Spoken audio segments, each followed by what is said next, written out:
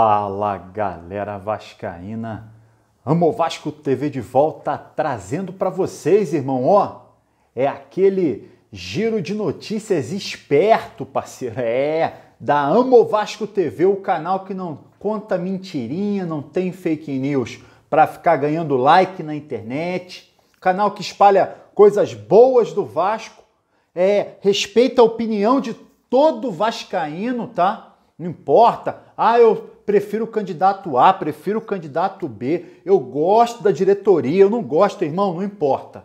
Você é vascaíno? Você é bem-vindo aqui, tá? E além disso, parceiro, a gente ainda sorteia uma camisa oficial do Vasco toda semana, tá? Oficial da capa, modelo supporter. Quer concorrer? É mole, é só se inscrever no canal, é de graça, tá? Só apertar esse botão vermelho e branco.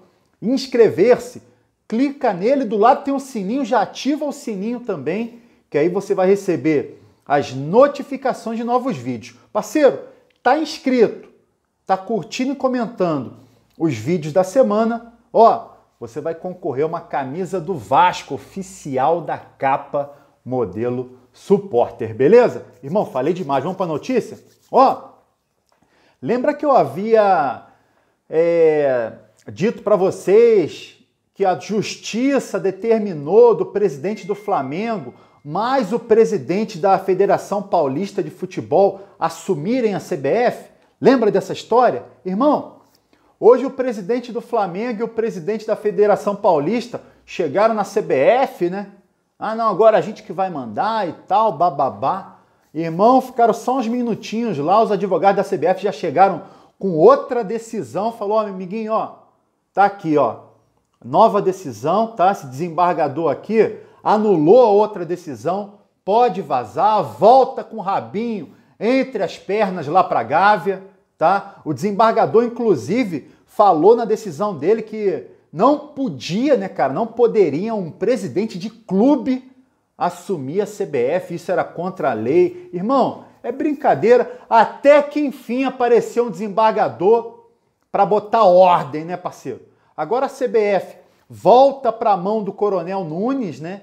Ele que está no comando, ele é o presidente da Federação Paraense de Futebol, volta para o comando dele porque o Rogério Caboclo está afastado aí por causa daquela confusão, assédio moral, assédio sexual, assédio. Cara, mó doido, né, irmão? Um monte de, de coisa aí, um monte de acusações nas costas dele. CBF, aquela confusão danada, mas pelo menos o presidente do Flamengo, parceiro, por enquanto, tá fora da CBF. É, irmão, ó, bicho tá pegando em São Januário, tá?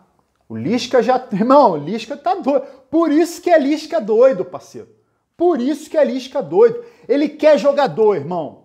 Ele quer jogador. Ele quer que a diretoria traga pelo menos cinco reforços, hein? A gente falando aqui em três reforços sendo humilde e tal. Irmão, Lisca quer cinco reforços, parceiro. É zagueiro, é volante, é meia, é lateral esquerdo é atacante de velocidade, tá? Ele já está analisando o elenco, viu que com esse elenco aí, irmão, não vai dar. Parceiro, o Lisca olhando de fora, ele via assim, pô, o elenco do Vasco é um dos melhores elencos da Série B. Todo mundo fala isso, né, irmão? Tanto que ele preferiu ir para o Vasco do que, do que ir para o Botafogo, parceiro. Ele falou: Botafogo é furada, eu vou para o Vasco que tem um elenco melhor, cheio de jogador, com nome e tal, né? E aí ele tentou fazer o time do Vasco ter a bola, impor o jogo. Irmão, não deu certo. Igual não estava dando certo na mão do Marcelo Cabo.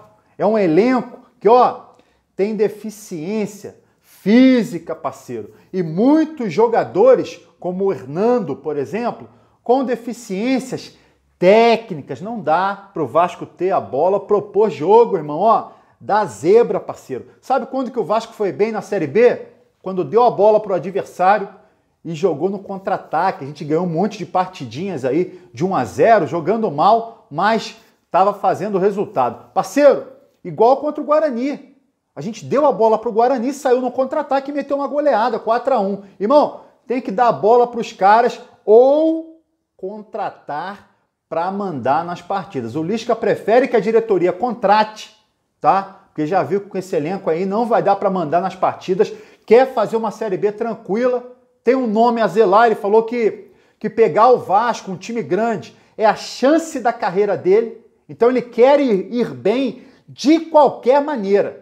Mas para ele ir bem, precisa de reforços. Está pressionando a diretoria. Bicho tá pegando em São Januário. Parceiro, lembra que o Vasco estava negociando um patrocínio master com a Betano, patrocinadora do Fluminense, do Galo e tal? Essa grana da Betano, chega, da Betano chegando é o dinheiro que o Vasco vai usar aí nas contratações. Tem que usar, parceiro. O que não dá é o Vasco permanecer na Série B em 2022.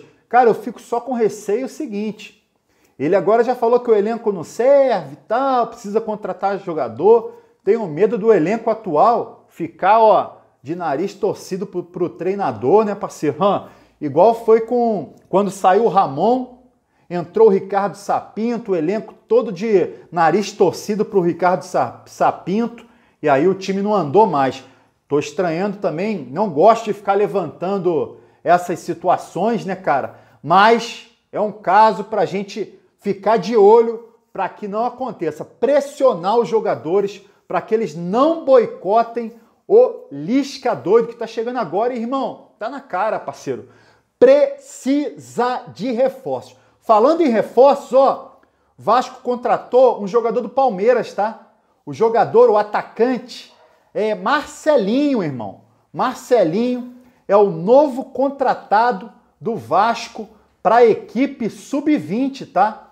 Ele tem 18 anos, assinou até janeiro de 2023. Ele chega para reforçar aí o, o elenco sub-20 do Vasco, do treinador Alexandre Gomes, nas competições que está disputando, né? O brasileiro e o estadual. Marcelinho é cria da base do Palmeiras, inclusive participou de cinco partidas do Palmeiras na equipe profissional. Parceiro, ó, legal, trouxe o Marcelinho, sub-20 do Palmeiras, não sei o quê. Beleza. Irmão, eu quero é jogador pro profissional.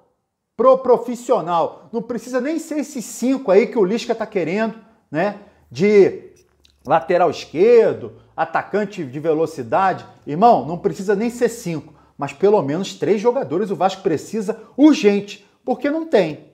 Não tem um zagueiro, o Hernando não serve, tá? Não tem um zagueiro, zagueiro pela direita, não tem volante de marcação, os que tem lá não tem essa característica, tá? E precisa também de um meia de armação, porque Marquinhos Gabriel e Sarrafiore não dá, irmão. Marquinhos Gabriel muito sumido nas partidas e o Sarrafiore não aguenta, irmão. Não aguenta ah, o rojão de carregar um meio de campo do Vasco nas costas precisa contratar pelo menos essas três peças, tá? Zagueiro, volante e meia de armação. Qualquer novidade sobre essas contratações eu trago aqui para vocês. Irmão, tô indo nessa, tá? Foi um prazer. Valeu. Saudações vascaínas.